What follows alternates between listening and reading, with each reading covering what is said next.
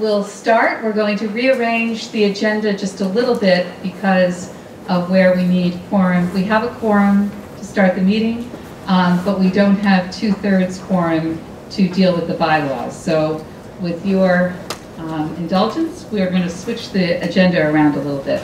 But first is the welcome. So welcome, um, and thank you all for coming. Uh, this is our second um, board meeting since the open meeting law, and we're delighted to have you all. Uh, we we're going to um, approve the minutes, I hope, from the other um, meeting. We're then going to move to the 990. We'll then move to the bylaws, and then, then we'll go back to the presentation of the slate of nominations for the board of directors. Um, the reason we're changing that is that it's a little hard for new people who are just joining to approve um, the 990 from last year and the, uh, the new bylaws given that they've just seen them um, in the last uh, few days.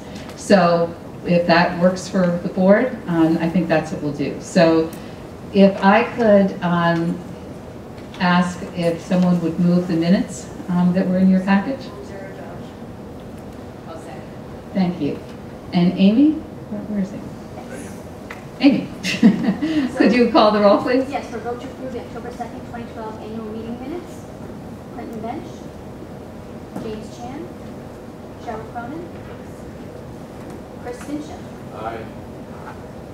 Bob Gore. Phil Griffiths. Yes. Maggie Hunt. Yes. Suzanne LeBoy. Yes. Woody Lynn. Yes. Chris Manfredi. Yes. Georgia Murray. Yes? Young Park. Helen. Thank you. So, oh, and here we have Young Park. Young, would you like to approve the minutes of, of okay? Young Park says yes. Great. Um, so, okay, so I think if it's okay, if it's not going to cause a breakdown of our of our presentation, I think we're just going. To, you're not doing a, a I am not. Okay, great. So if I could turn this over to Chris Manfredi um, to do the approval of the 990s. Thank you, Chris. Okay, thank you. Um, The 990s, the 60-plus pages, uh, were sent around to the board. Um, And um, it's not as easy to talk about highlights of a 990 and the Form PC as it might have been from the financial statements. But I first want to thank Lisa Schimmel for her wonderful work. And uh, Feeley and Driscoll also were very helpful in the preparation of that, so um, we're feeling very good about it. Um, I, I'm welcome to take any questions that people have. There's, it's a very standard report. It, um, there's a reconciliation in it that reconciles the numbers there to the financial statements. Um, there's, you know, 10 plus pages that talk about, in Schedule O, that talk about the mission and the organization. So there's a lot of good information in there. We uh, are pretty pleased that it has so much transparency in it, and so I open it up for any questions. for Any of the other board members? Pretty straightforward. Okay, well, with that, um, shall we ha- have someone move the, um, second? Um, Amy, would you call the roll? For a vote to approve the FY12 990. Clinton Bench. James Chan. Cheryl Cronin. Yes. Chris Fincham. Yes. Bob Gore. Bill Griffiths. Yes. Maggie Hunt. Yes. Suzanne LeBoy. Yes. Woody Lynn. Chris Manfredi. Yes. Georgia Murray. Yes? Young Park. Yes. Helen Chin Schlichte. So the minutes have been approved. Thank you. Um, we're now going to move on to um, the bylaws because we now have a quorum, um, a two-thirds quorum, so that we can do that. Um, and we've been really fortunate in having with us um, two lawyers from Goulston and Storrs. You all know Peter Pohansky. He's been with us through the bid, through Occupy Boston, through um, all sorts of issues for the Greenway, and his leadership has been phenomenal on all that.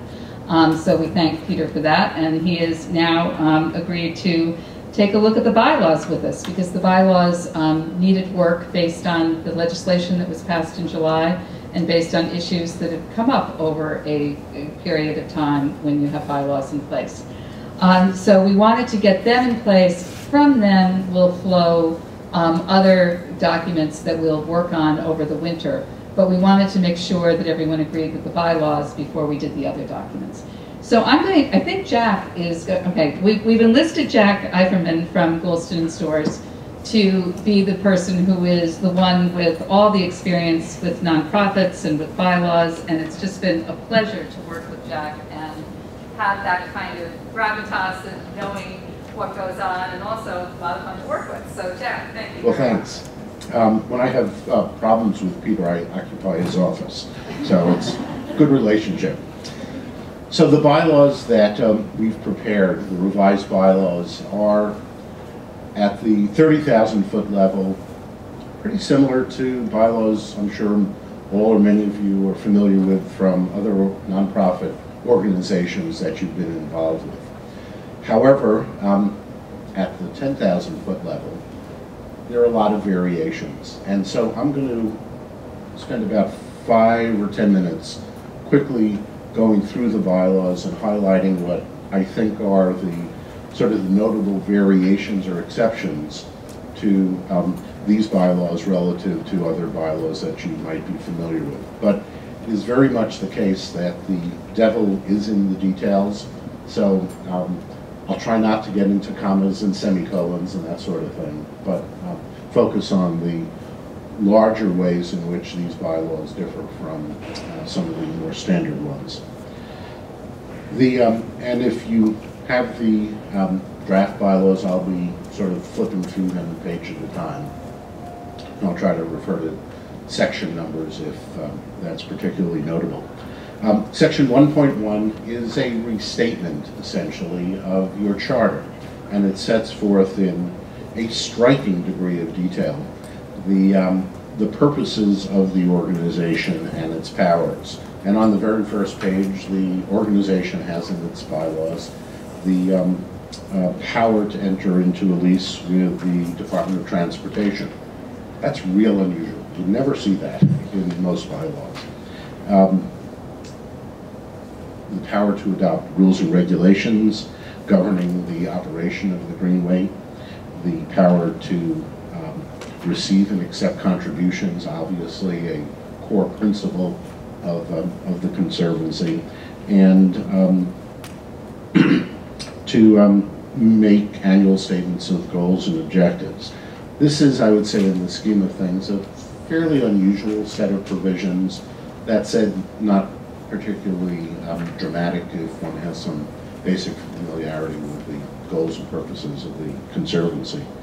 The um, specified powers in section 1.2 are substantially a very boring repetition of what we just spoke about. Um, the balance of the uh, provisions on, um, in Article 1 are sort of housekeeping provisions in Massachusetts, nonprofit corporations can be structured in one of two ways. One is method where there are members, and the members elect the directors, and the directors make all the decisions. The other model, and this is the model that the Conservancy has, is not to have any members, and instead have a board of directors that is, in some respects, self-perpetuating. So they elect themselves or their successors. Your case is a little bit different because you have lots of uh, different organizations nominating directors. And we'll talk about that in a moment. But, so this is a non-membership organization. Uh, Examples of membership organizations might be, um, I don't know, the Audubon Society or something like that, where you pay dues, you get invited to a dinner once a year, it's not a good dinner usually, and you get, in particular, the power to elect the directors. And that's really, as a legal matter, the only thing that is typically done. So that's not your form. Your form is a self-perpetuating board. Please. Uh, I paid sixty dollars and I got a letter saying, thank you for your membership gift of sixty dollars. Yeah, I, I think the, the term mem, terminology is something we all get hung up on. Um, there is a provision in these bylaws that indeed authorizes the corporation to have things called members, but for purposes of Chapter 180, which is the Massachusetts statute, those people who are quote-unquote members are not members within the meaning of the statute. So the term, for example, um, if I want to um, make a contribution to um, some social welfare organization, they thank me for my membership check, that doesn't make me a member. Um, It means I'm a supporter, and I think probably, I haven't seen the letter, but probably in the context of that letter, the term member was meant as a supporter, someone who's on the mailing list, someone who's invited to meetings, but that does not convert into statutory powers under Chapter 180. And I would say most organizations, most Massachusetts nonprofit organizations that are director only also have a category called members, but it's not statutory members. Okay. Article 2 um, is an important article, and it's one that um, sets up the board of directors. And the provisions of section 2.2 go into, I would say, the most detail I have ever seen about the composition of the board. And it's fabulous, and it's probably the reason why there are so many um, people participating in this organization. A lot of people really care. And I don't need to go through the list of the, decide? A dozen, yeah, 21 different seats that are there. And the seats are um, filled, are nominated, not elected. So, for example, taking the first example, the governor's appointment in Clause C, is um, there are two directors who are selected by the board from a list of names provided by the governor. So, sort of an important detail, the governor does not appoint people to the board. The governor nominates people, and then the board has to make a decision to elect one or two, or I guess supposedly, um, theoretically anyway, the board could say, sorry, no, you have to nominate some more names. So there's, um, it's a detail. Um, It's likely not going to be a power that's not going to be exercised frequently, but merely because an organization has nominated someone, that does not automatically convert to that individual being on the board. This board must take an affirmative act to elect that individual. And that's, that is the case for all the nominees. I selected the governor just because that's the first one. Yes? And, and is one, does one name constitute a list, or does a list have a different name? Um, One name, one name can constitute a list. Okay. Uh, And some of the nominees are, there are two seats. Um, Most of them, I think, are one seat. And the term lengths vary. Um, Some are three years, some are one year, some are five years. Um, And we'll talk about that in a minute. But there's, I mean, I think, just a fabulous representation from all sorts of constituencies. I'm going to step outside of the bylaws for just a minute, um, and I think it's, um, this is probably the appropriate point. The individuals who are nominated by the governor or the secretary of energy and transportation or the wharf district council or any one of the other organizations sit on this board, and by virtue of sitting on this board, those individuals have a fiduciary obligation to the Conservancy, period. They are not sitting on this board as delegates of the council or delegates of the governor. They are obligated as a legal matter to act in the best interests of the Conservancy. Sometimes there will be conflicts, um, and that's not unusual, it's not terrible, it sort of happens. People then need to recuse themselves. Recuse is a fancy way of saying excuse. You Leave the room and you walk out. And you don't vote, you don't lobby on the, uh, on the matter. But many times when people are selected by the North End Waterfront Neighborhood Council appointment, they feel an obligation to act in the best interests of those individuals. And there is some significant truth to that, but the overlay is they do so in the context of acting in the best interests of the Conservancy. They are not delegates who vote merely as directed. They have an independent obligation to act in the best interests of the Conservancy. That's pretty abstract, um, And it's hard, when you have specific examples, give Peter a call we'll help you figure it out. But as sort of an overarching matter, the obligation is to act in the best interest of the Conservancy. There are um, uh, A through J, uh, people who are um, appointed or are nominated, excuse me, to uh, fill particular seats. And then there are seven directors who are elected on an at-large basis. And that's in uh, section 2.2, clause N. And there's, I'm sure, a lot of politics there, and a lot of balancing, a lot of thought and structuring that goes into it. But when sitting on the board, everyone is the director, period, paragraph. A North End or a Chinatown director. You're a director, not an at-large director. You're a director. The chair of the board is um, selected at the annual meeting. Uh, Similarly, the vice chair. We have a somewhat um, unusual way of calculating term limits, and most of the directors are subject to a term limit. And the term limits are typically, let's say, for example, two terms, each of three years. So we needed to come up with a structure for deciding, so when do those three years start? Exactly. And the, the answer that these bylaws contain is that if you're elected at the annual meeting, then your three-year term starts at the annual meeting and continues for three years thereafter. Nothing particularly obvious, unusual. However, given the likelihood that people are going to be coming onto the board as a result of nominations by public officials and neighborhood organizations, the likelihood that everyone is going to be nominated in time for the annual meeting is non-existent. It's just not going to happen. They're, they're going to dribble in over the course of the year. If it doesn't, then this one will be wasted. I don't think it will be wasted. So what we said is that when someone is elected as a director, midterm, that is sometime subsequent to the annual meeting, that first chunk of time until the next annual meeting is free. It doesn't count for purposes of the three-year term. So let's assume, this is not correct, but let's assume that your annual meeting is January, and someone is elected in February, and they have a three-year term limit. In fact, that individual is going to serve for 11 months and another three years.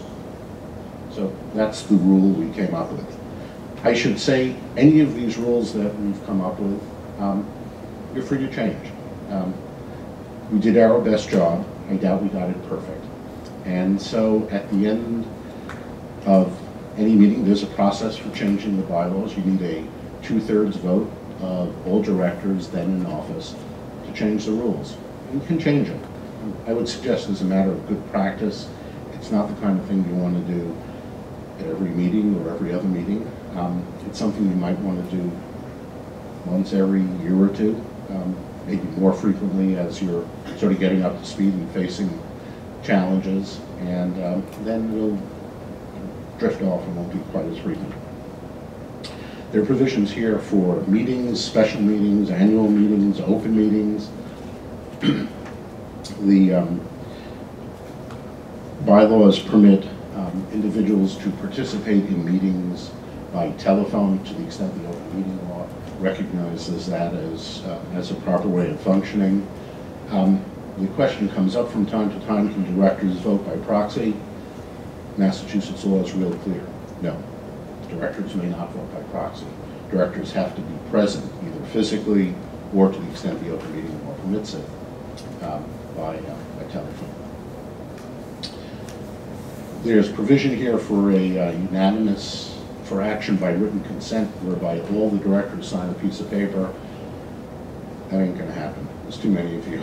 It's not, someone's gonna be away or indisposed, but we have it here just on the off chance work. The next section, Article 3, deals with committees. And those are committees of the board. Um, The board is free to establish committees whenever the board decides to do so. And I would say almost all actions of the board can be taken when a quorum is present and a majority of the quorum approves the action. That's sort of the default rule. There are a few variations, but that's generally speaking the, the way in which the board takes action. So one of the ways, one of the things the board can do is establish committees. There are three committees, however, that the board does not have the discretion not to establish. I think I said that already. There must be a audit risk management and finance committee. There must be a development committee, and there must be an investment committee. You said you don't need by statute. must- No, no, no, must by the bylaws, right. At any moment, we could uh, determine that, that that kind of committee isn't necessary or useful anymore. Um, Not exactly. Um, As to the three committees I went through, Yeah. audit risk management, investment, and uh, development, Yeah, the board, to change that, has to change its bylaws. yeah, that's what I, Yeah, right. actually, that was, I was asking. Um, okay. So th- this is, this is a, um, it's a, it's a good question because it's an example of the board imposing upon itself a discipline or a degree of rigor as to how it wants to conduct its activities. It is true the board can change those rules, but there's a little bit of process. You have to change the bylaws. I'm Yeah. sure all of us have actually, I mean, we're, we're all very experienced board members, so I actually just wanted to ask kind of a basic question. Are these bylaws completely in conformity with the statute? I leave that to my partner, Peter. Yes. Okay, so, um, And okay. and if you have specific questions, sure. No, no, I'm Glad gonna to. rely on your our counsel. We Yeah. Obviously trust you, Yeah. and we're gonna rely on your position on that. No, they, they, they sure are. I mean, there are things that the statute doesn't tell us um, that need to be in the bylaws, and, and we've made some decisions on what to propose, but absolutely. And, and, uh, you know, the main reason for addressing and revising the bylaws at this point is to bring them into compliance with the statute, both in the composition of the board and compliance with the open meeting law and public records law. So many of these changes flow from things that the statute tells us now have to be included. Does that make sense? Absolutely. Thank you. I- And that's, so, so we really do need to understand that, you know, that they've, they've been, to some extent, vetted with a whole lot of people beyond Peter and, and Jack. But they, but there are bylaws, so if anybody has any questions or wants to see any changes on the board, um, we should talk about that. I have about another 30 seconds. Uh, Even though there are a lot of, lot more pages, the last chunk of pages go pretty quickly. Um, The, um, as I mentioned, the default rule is you need a quorum, and the board acts by a majority of the quorum. Article uh, 5 speaks about officers and directors. That's pretty standard. You have a um, president, treasurer, and clerk. You have a um, provision for an executive director. Um, And there's a specific acknowledgement in the bylaws that the records of the Conservancy are public records. And the balance of the bylaws up until Article 10 totally boring. If you want to talk with me about it, I'd be glad to discuss it, but it's too early to put you to sleep. Article 10 speaks about amendments, and that's sort of an important provision, and it's the rules as to how you're going to change the rules. And I said generally you need a quorum and a majority of quorum to take most actions, subject to a couple of exceptions. This is one of the, this is the most important exception. And this exception says that you need a vote of two-thirds of all directors that are in office to change these rules, to amend the bylaws. That's it. Um, So. Does anybody have, any- on the board, have anybody questions for Jeff? Yes, Chris? I do, um, I noticed the section, and I think it's uh, on page thirteen, where it refers to a president, which Yes. seems redundant, or, um, and I don't know if we have had one before, but would it be possible where you talk about chair to have those positions be the same? Or when you talk about president, say that for, for purposes of these bylaws, the chair will act as president somehow? We certainly could do that. Massachusetts law requires that there be someone who has the responsibilities of president. You can call that person whatever you want. Okay. Um, chief cook and bottle washer, I haven't seen, but that would be a legitimate term. You could also call that person chair.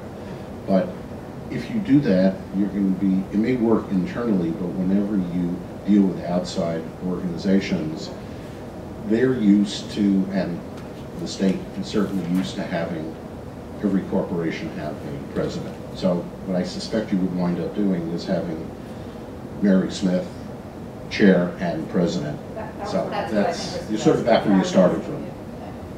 There happens to be on two point three, a sentence that says, Oh, good. the chair shall also serve as president of the corporation. That's what I was looking for, and thank you for, um, pointing out.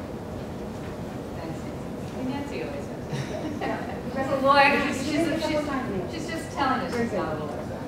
Um, without a Very license. good, thank you, that's, that clarifies. Thanks, Deb.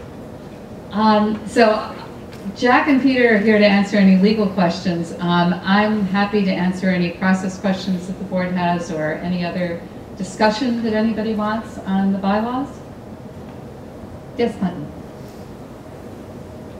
Couple of quick questions. With respect to unanimous consent, um, I think of that sometimes procedurally as, um, uh, to be honest, a means either for expediency or also for a means of sort of, you know, a declaration of even greater support than a simple majority vote would give. Um, is that, is, is there another meaning intended by the unanimous consent referred to in here in the draft bylaws?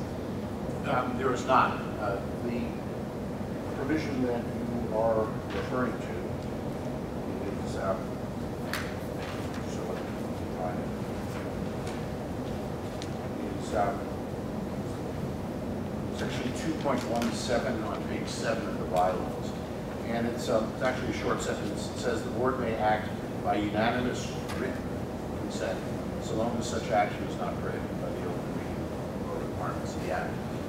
What that is for is if for some reason it's too cumbersome to convene a meeting, um, a piece of paper can be sent out, everyone's going to sign it and send it back. I would say virtually every time that I've seen that used, it's in the context of uh, some form of transaction where lawyers have to give an opinion and they say, we need to see a resolution, it's too hard or too expensive or too cumbersome to convene a meeting, so instead a piece of paper is circulated. That's sort of a standard part of all bylaws. I would expect that for an organization with a board this size, that's really not feasible. The other point you raised about when the board passes a vote, assuming the quorum is present and it's the majority of the quorum, sometimes people want to have that vote be unanimous. In some circumstances, I think there's a little bit of um, uh, policy oof that results from that, but as a legal matter, a vote that passes by one more um, than a, than a majority of the quorum or unanimous or totally equivalent. And as a legal matter, it's no difference.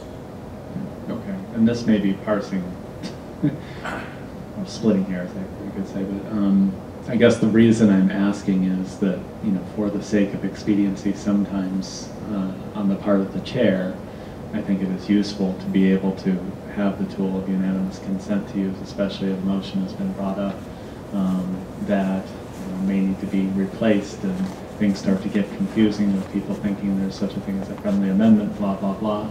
Um, I guess I just want to make sure that the chair is, you know, has the, has that tool at their disposal and that we also have the tool at our disposal to make such a, a unanimous consent vote if we wish to, number one. Number two, I guess it sort of feeds into my second question, which was about um, just uh, procedure, rules of order. Um, sometimes bylaws do specify a particular um, parliamentary procedure rules of order, perhaps referring to Robert's Rules of Order. Nothing is referred to here, which is certainly not necessary.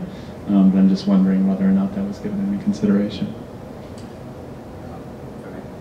Um, These bylaws do not restrict the ability of the board to vote unanimously to have a consent agenda, which is typically uh, adopted unanimously. So there's nothing here that would restrict that, uh, that would impact it.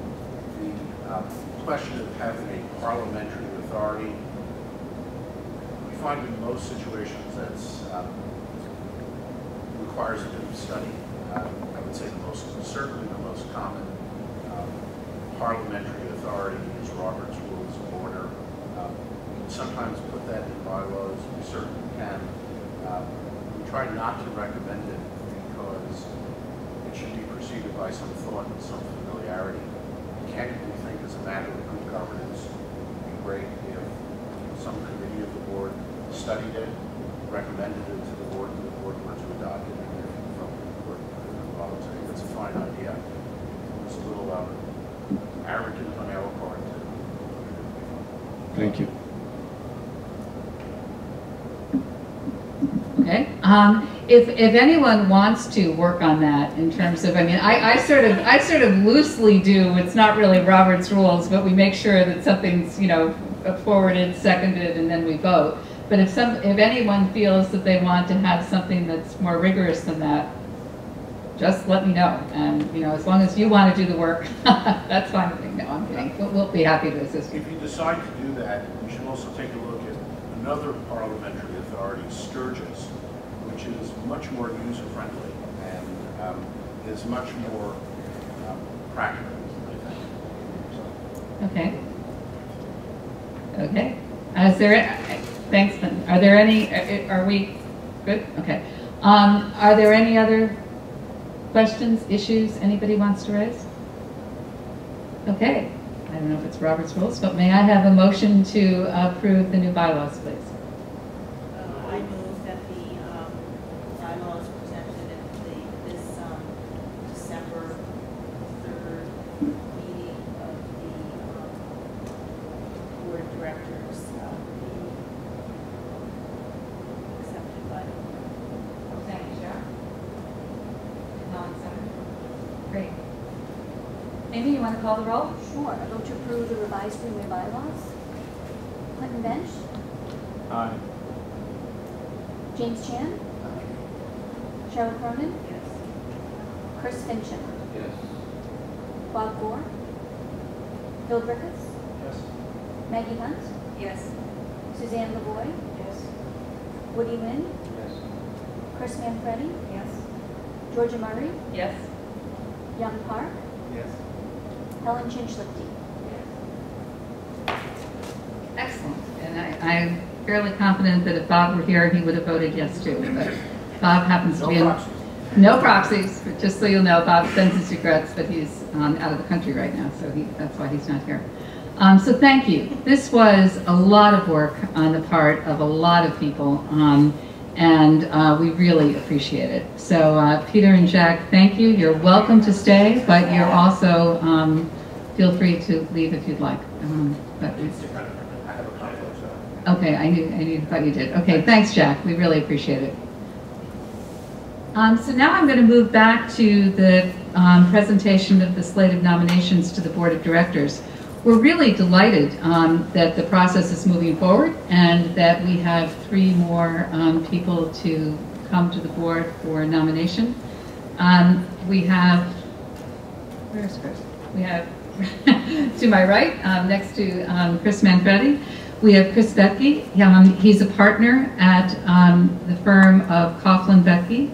Um, he is a resident of the Leather District and has been for some time. He has been very involved with the Leather District Neighborhood Association. Um, we are delighted that his name came forward, and I know you all have his bio. Um, and so he, he will be up for approval. We also have John Pregman, um, who is to my left. Um, John is also an attorney um, at KJC Law Firm, um, where he works in litigation of personal injury and employment and consumer protection matters. Um, John is a resident of the North End and um, walks to work right through the Greenway every day um, and is very interested in helping us out in any way he can. So we're delighted that, that John's name was put forth. And Jane Pappalardo. Oh, She had to leave. Oh, Jane just left. So I knew I knew we were running tight. I thought I thought we might make it. Um, but Jane um, is from the Wharf District. We're delighted that her name is put forward too. She is a resident of Rowes Wharf, and um, she is she holds a degree from the music of in music from Boston University, and is involved with Beth, Beth Israel Deaconess, Um, She serves as a trustee of the Isabella Stewart Gardner Museum, and she's very involved in the philanthropic community in Boston. So again, um, we're delighted that Jane's name was put forward. Um, So, did any of the board have any discussions, or any of the potential new board members want to say anything? Um, Not that you have to, this isn't a speechy kind of thing, I just wanted to uh, see if you wanted to.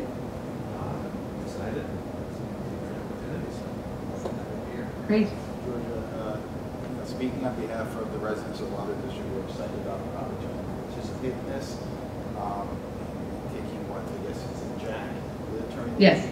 What Jack was saying earlier about um, having an obligation to the board, not just to our neighborhoods, I take seriously. I'm sure uh, the other uh, members who are uh, quote unquote resident members uh, feel the same way. I know from speaking to some of them that they do. And that certainly we believe that if we do what's best for the Greenway, it will be what's best for the neighborhood. So we look forward to certainly as, as board members.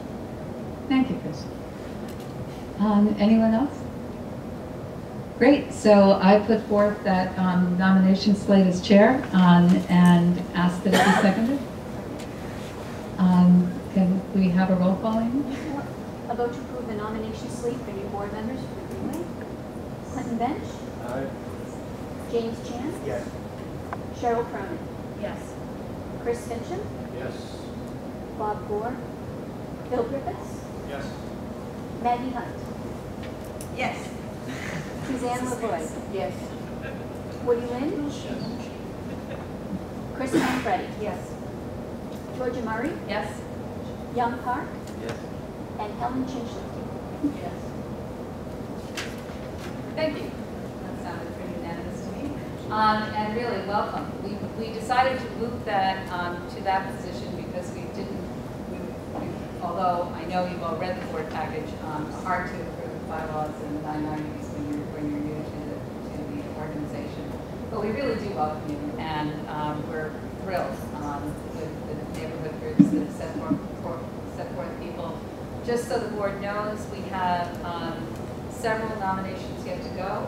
Um, one from Chinatown, one from North End, and two from the governor and one from the mayor. So we're still five members down, uh, but we're working on it. We're making progress every month. Um, and so we really look forward to getting to a full board, maybe not January, but hopefully um, by the spring sometime. And the only thing that I didn't say, but I should, is that in your package, it said they would um, serve till 2015 um, because that's three years from 2012, but the bylaws we just approved said they really served the annual meeting in 2016. Um, This has been a very fluid thing that we've worked on the bylaws, so some that size, but they are approved to 2016. And I'm assuming that that's a problem.